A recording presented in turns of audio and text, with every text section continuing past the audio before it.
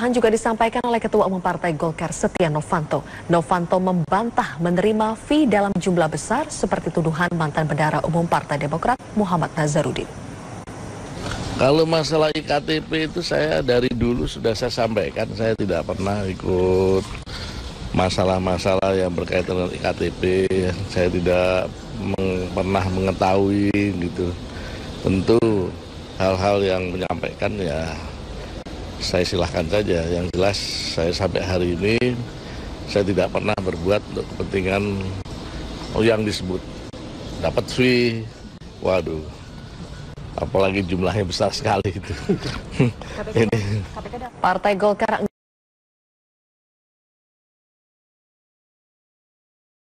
PR pendukung supremasi hukum dan ini betul-betul bisa diusut secara tuntas. Dan tentu kita harapkan tidak ada harapan saya apa seperti yang sampai ke KPK supaya tidak ada kegaduhan-kegaduhan politik. Karena yang saya dengar dan saya dapat informasi di mana ada beredar daripada dakwaan-dakwaan yang juga menyebut nama-nama besar termasuk saya semua saya serahkan kepada pihak-pihak yang nanti melakukan di dalam persidangan.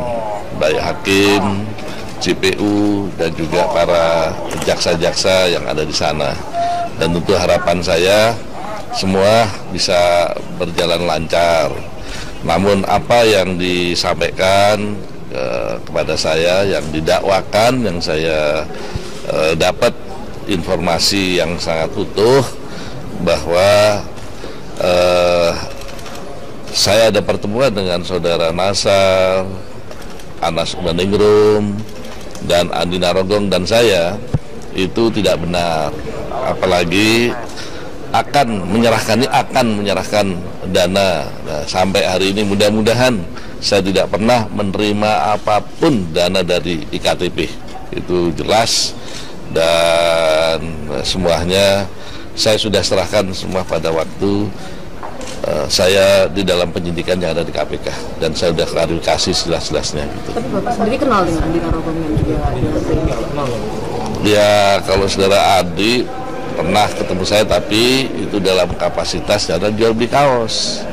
Waktu saya selaku bendahara umum dan ketemu hanya di blok tapi semuanya kita serahkan lah nanti kan di dalam sidang nanti eh, masing-masing bisa menjelaskan kita tunggu aja persidangan nanti ya. Bapak sebagai ketua fraksi Golkar dan pada saat uh, proses perencanaan anggaran di KTP komunikasi dengan Pak Andi Narogong masih terjalin juga? Enggak ada, itu semua nanti kita lihatlah dalam persidangan nanti. Yang jelas saya tidak pernah mengurus-ngurus masalah uh, anggaran, tidak pernah um, karena sebagai pimpinan fraksi yang dahulu itu kita hanya menerima laporan-laporan yang semuanya ada dilakukan oleh ketua-ketua komisi di mana ketua-ketua komisi melaporkan ya secara oral, secara ini karena waktunya kan sebulan sekali pleno dan itu yang disampaikan. Dan masalah anggaran seperti tadi yang dipertanyakan itu semuanya mekanismenya ada di panitia anggaran yang ada di badan anggaran dan di komisi-komisi yang terkait dalam hal ini adalah Komisi 2. Jadi selaku pimpinan fraksi tidak ada yang berkaitan dengan pengurusan-pengurusan mengenai masalah anggaran. Dan tentu selain kita fraksi itu di dalam memutuskan segala proyek-proyek itu tidak bisa sendiri. Partai Golkar waktu itu ada 101 anggota Partai Golkar di DPR. Jadi kalau memutuskan ya harus dengan fraksi-fraksi lain jadi itulah yang bisa saya sampaikan.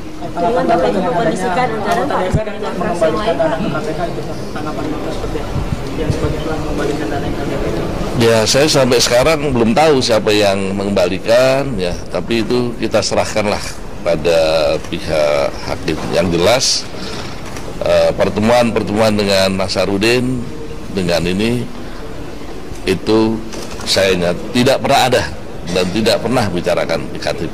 kalau dengan kerja bapak ya, dengan ini dan nanti kalau dipanggil di persidangan siap sudah KTP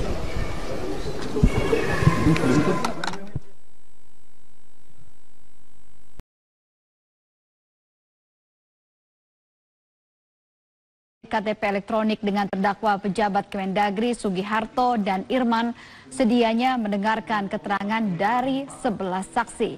Namun tiga di antaranya tidak hadir.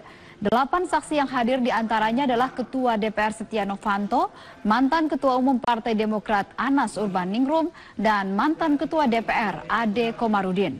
Salah satu kesaksian yang diungkap oleh Setia Novanto adalah perihal perkenalannya dengan Andi Agustinus alias Andi Narogong.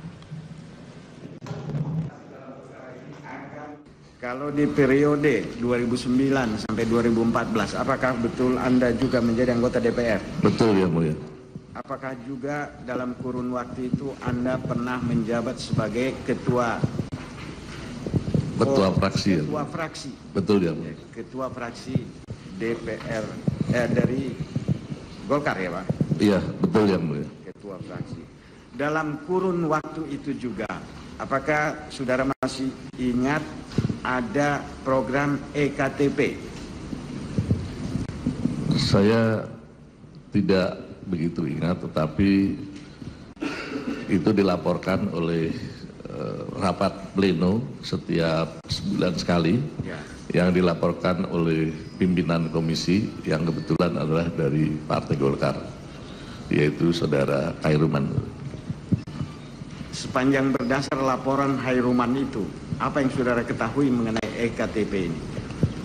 Yang saya ketahui di dalam rapat pleno ini dilaporkan dari Komisi 1, 11 dan AKD. Di dalam laporan bukan hanya masalah berkaitan dengan IKTP karena yang dilaporkan hanya sepintas karena waktunya biasanya nggak terlalu lama setiap komisi. Jadi dilaporkan hanya masalah yang berkaitan dengan program IKTP. Ya, se- menyangkut program E EKTP itu yang saudara pahami apa saja? Yang saya pahami bahwa dilaporkan bahwa IKTP ini adalah program nasional dan saya sampaikan setelah itu adalah yang penting harus sesuai dengan aturan yang berlaku dan dengan mekanisme yang jelas. Itu pada waktu itu Anda di komisi berapa? Saya sebagai ketua fraksi. ya, Ketua fraksi. Ya, Kalau urusan ini EKTP kan programnya Kemendagri. Betul. betul ya, Bro. Ah, kalau Kemendagri itu mitra kerja komisi berapa itu? Komisi 2 yang mulia. Komisi 2. Ya. Anda mengikuti nggak laporan-laporan dari Komisi 2 mengenai apa yang pernah mereka kerjakan? Tidak dari segi fraksinya, mungkin dari anggota partai. Tidak pernah yang mulia. Tidak pernah. Tidak pernah yang mulia. Jadi apa dan bagaimana proses EKTP itu dibahas di Komisi 2 Anda tidak pernah tahu. Tidak pernah tahu yang mulia. Informal di luar. Tapi pada masa itu, apakah ada yang saudara ketahui mengenai EKTP? Tidak mengetahui yang mulia. Tidak mengetahui. Saudara kenal dengan Andi Agustinus alias Andi Narogong. Saya yang saya tahu pada tahun 2009 itu saya di sebuah restoran di sebuah kafe kebetulan punya saya sendiri datanglah seorang yang mengenalkan diri adalah Andi Narogong dan menyampaikan akan jual beli kaos yaitu atribut partai karena saya selaku bendahara umum partai dan setelah saya cek disampaikan harga-harganya ini masih terlalu mahal sehingga saya eh, tolak Ya. saya nggak bisa setuju ini Ada berapa? Pemirsa dalam dua sidang berturut-turut para saksi yang menjabat anggota dewan saat proyek KTP elektronik membantah kesaksian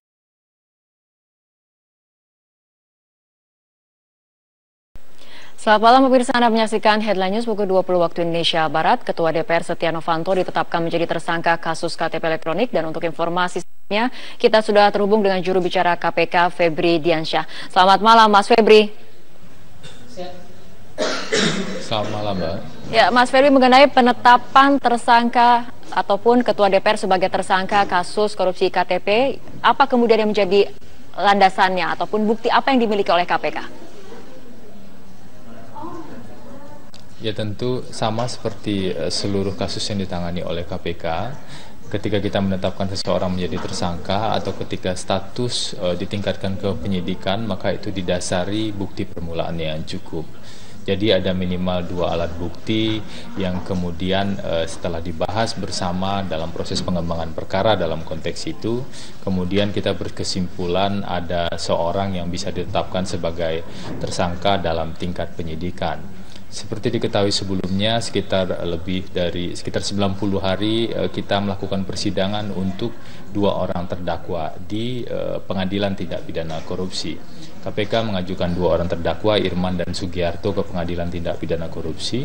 Kemudian melakukan pemeriksaan eh, sejumlah saksi, ada lebih dari 100 saksi yang sudah kita periksa lebih dari 6.000 barang bukti yang juga sudah kita ajukan di persidangan. Dan juga ada petunjuk-petunjuk, ada juga keterangan terdakwa di sana dan keterangan ahli. Sampai kami berkesimpulan bahwa selain dua orang eh, terdakwa tersebut eh, diduga melakukan korupsi, ada sejumlah pihak yang juga punya eh, peran di sini kami melakukan penajaman-penajaman sampai disimpulkan ada bukti permulaan yang cukup dari proses pengembangan penanganan perkara di eh, tahap persidangan eh, tersebut. Selain itu kami juga melakukan proses penyidikan dengan tersangka AA seperti yang kita sampaikan sebelumnya, secara paralel proses penyidikan dan persidangan ini juga berjalan uh, proses pengembangan perkara di sana karena kami punya kewajiban untuk menuntaskan kasus KTP elektronik ini. Artinya kita harus uh, memproses eh, orang-orang uh, yang memang diduga terlibat dan harus bertanggung jawab di sana. Jadi setelah ada bukti permulaan yang cukup tersebut, uh, kami melakukan peningkatan uh, status terhadap seseorang dengan inisial SN sebagai tersangka dalam kasus ini. Baik, Mas Febri, apa kemudian uh, lebih lanjutnya ataupun lebih mendalamnya mengenai peran dari Setia Novanto sendiri di dalam kasus IKTP ini? Ada indikasi peran uh, saudara SN melalui AA. AA ini adalah tersangka yang sedang kita proses saat ini, baik dalam tahap penganggaran ataupun dalam proses uh, pengadaan. Jadi beberapa peran-peran yang diduga dilakukan AA itu kita lihat uh, sebagai bagian dari indikasi perbuatan saudara SN. Karena itulah kami sampaikan diduga SN melalui AA melakukan sejumlah hal dalam konstruksi perkara indikasi korupsi KTP elektronik. Dalam konstruksi dakwaan yang sudah kita sampaikan sebelumnya, dua orang terdakwa tersebut diduga melakukan korupsi dan juga bersama-sama dengan pihak lain. Eh, saudara SN adalah salah satu pihak yang diduga bersama-sama eh, melakukan eh, indikasi tindak pidana korupsi KTP elektronik ini dan kami memiliki keyakinan atau minimal bukti permulaan yang cukup untuk kemudian meningkatkan status yang bersangkutan ke penyidikan. Ya, Mas Febri, setelah kemudian ditetapkan sebagai tersangka, apakah kemudian Setia Novanto akan langsung ditahan? belum ada tahapan sampai ke sana, kami tentu harus melakukan terlebih dahulu kegiatan-kegiatan di penyidikan seperti pemeriksaan saksi-saksi. Nanti akan kami informasikan ketika saksi-saksi dipanggil itu saksinya uh, diperiksa kapan dan untuk tersangka siapa, apakah untuk uh, tersangka AA yang sudah berjalan lebih dari 140 saksi yang sudah diperiksa atau untuk tersangka SN yang baru mulai berjalan uh, saat ini. Itu akan kami informasikan lebih lanjut. Termasuk juga nanti jika ada agenda pemeriksaan SN sebagai tersangka tentu juga akan kami uh, sampaikan. Jadi dalam konteks itulah untuk tahap awal ini kita akan melakukan kegiatan di proses penyidikan. Tentu semua proses kegiatan penyidikan itu kita lakukan sesuai dengan kewenangan KPK dan hukum acara yang berlaku. Baik, terima kasih Febri Diansa juru bicara KPK telah bergabung bersama kami dalam Headline News dan pemirsa demikian Headline News untuk saat ini. Tetaplah bersama kami. Program-program berikutnya dalam Metro TV akan